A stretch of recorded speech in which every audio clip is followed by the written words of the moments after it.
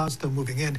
Let's get a check on the forecast with Storm Tracker Chief Meteorologist Geoff Bansen. Geoff, want to welcome you to ABC6. It's the first time here on air. Welcome. We, we wish you all the best, my friend. Good to see you. Thank you so much. It's uh, everybody here has been so nice uh, over the last couple of weeks. Well, I'm sure that'll change anyway. Yeah. Once you get to know, be the end of that. yeah, unless I get the forecast right or wrong. I think that's going to uh, depend. Hey, it was a beautiful start to the day across Providence, really across all of southern New England. Notice I'm starting the satellite here, 9 o'clock.